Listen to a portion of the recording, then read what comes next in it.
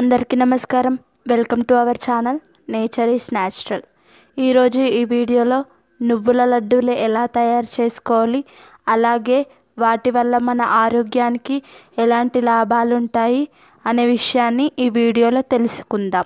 ఇప్పుడు కావాల్సిన పదార్థాలు ఏంటో తెలుసుకుందాం. అందుకు మనకి నువ్వులు అలాగే బెల్లం నెయ్యి నెయ్యి లేకపోతే డాల్డా లేదా నూనె కూడా వాడచ్చు.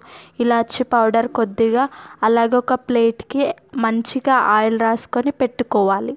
బెల్లం అలాగే నువ్వులు సేమ్ క్వాంటిటీలో తీసుకోవాలి. సపోజ్ రెండు వందల యాభై గ్రాములు నువ్వులు తీసుకుంటే రెండు వందల యాభై గ్రాములు బెల్లం తీసుకోవాలి. ఇందువల్ల బాగా టేస్ట్ అనేది ఉంటుంది. ఒకవేళ మీరు తీయగా తినలేము అనుకుంటే కొద్దిగా తక్కువ కూడా తీసుకోవచ్చు. చాలామంది బెల్లం తినడం వల్ల దగ్గు అనేది వస్తుంది అనుకుంటారు. కానీ బెల్లం తినడం వల్ల ఎలాంటి దగ్గు అనేది రాదు. ఇప్పుడు ఒక ప్యాన్ తీసుకొని లో ఫ్లేమ్లో మంట నుంచి ఆ ప్యాన్ వేగిన తర్వాత నువ్వులను వేసి బాగా వేపించాలి.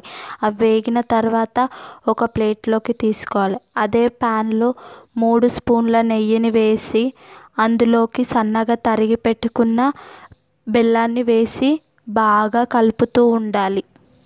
అలా కలుపుతూ ఉన్నప్పుడు బెల్లం అనేది కరిగి ఒక లిక్విడ్ లాగా తయారవుతుంది.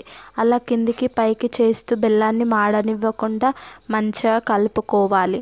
ఇప్పుడు అది బెల్లం కరిగిన తర్వాత అందులోకి మనం వేపించిన నువ్వులను వేసి బాగా కలుపుకోవాలి. ఆ బెల్లానికి ఆ నువ్వులు పట్టేలాగా కలుపుకోవాలి. ఆ రెండింటిని బాగా మిక్స్ చేసుకోవాలి. అలా నువ్వులు బెల్లాన్ని కలుపుకున్న తర్వాత మనం ఆయిల్ రాసిన ప్లేట్లోకి దాన్ని తీసుకోవాలి. తీసుకున్న తర్వాత చేతులకి కొద్దిగా ఆయిల్ రాసుకొని ఆ మిశ్రమం వేడివేడిగా ఉన్నప్పుడే చిన్న చిన్న లడ్డూల్లాగా చేస్తూ ఉండాలి. వేడివేడిగా ఉన్నప్పుడు చేయడం వల్ల లడ్డు అనేది పలిగిపోకుండా మంచిగా రౌండ్గా వస్తుంది. ఇలా నువ్వుల లడ్డూలు చేసుకొని రోజువారీ మన డైట్లో రెండు లేదా మూడు తినడం వల్ల హెల్త్కి చాలా మంచిది. ఇప్పుడు వీటి వల్ల లాభాలు ఏంటనే విషయాన్ని తెలుసుకుందాం.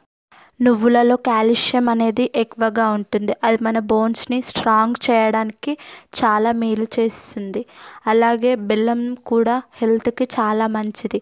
ఇది తినడం వల్ల మనం ఆరోగ్యంగా ఉంటాము. ఈ వీడియో కనుక మీకు నచ్చినట్లయితే లైక్ చేయండి షేర్ చేయండి కామెంట్ చేయండి.